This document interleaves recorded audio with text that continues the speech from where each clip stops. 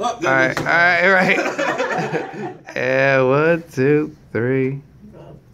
I'm here with our client Dozy, who just had a successful closing. So we just wanted to get a little bit of your testimonial of how you came in contact with Shawn and the Calhoun team. Uh, pretty much, I was going through a lot of different agents, and I just wasn't getting the help that I needed.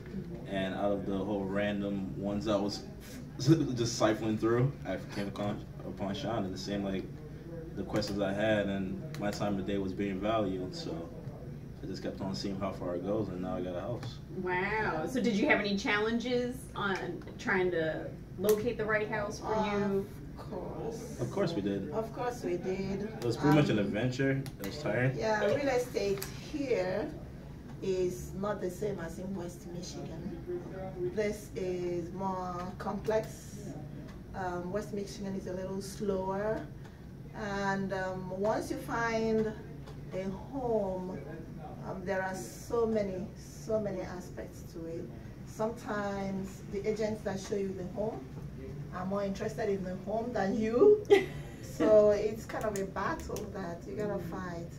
But um, we had a lot of those experiences. We looked at a, a lot of houses because um, Dozy will always call me and ask for mom's advice.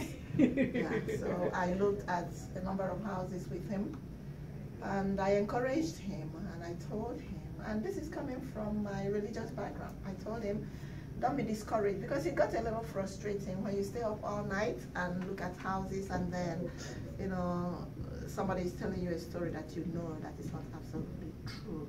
But I told him to just keep looking. You will, you will come across that one person that wants to do the right thing. Mm. And I'm glad we came across Shawn. Honestly, Shawn is the guy to go to. He is.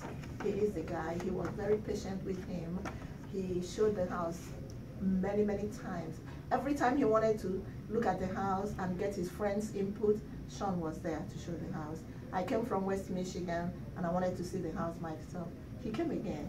And I know after I came, Dozy brought his friends also to the house. And he was there. He's the guy. He's the go-to guy. He So he really helped you all through the process and answered your He questions. did. Did he respond well when you were trying to get in contact with him? He responded whether it was phone call, and it didn't matter if Dozy called him because he's the one buying the house, not me, or I called him. I called him without even letting Dozy know because I wanted some questions answered, and he responded. I sent text to him, he responded. So yeah, I will recommend him any day. any Oh, day. excellent. Well, I'm so glad that it worked out for you. Congratulations. And uh, if Yeah. you need any help in the I'm happy for future. I'm really proud, of, really proud of him, and he works very, very hard, so he deserves it. and is there anything uh, that you would like the viewing audience to know about you? Yes. I would Um, like the viewing audience to know that they can do it. You know, I want I want this to be an encouragement for young men, especially young African American men. I mean, we came all the way from Africa, and if we can do it, all these young men they can do it. So I want them to get an encouragement from this. They can do it. Thank you. Thank you. The interview is for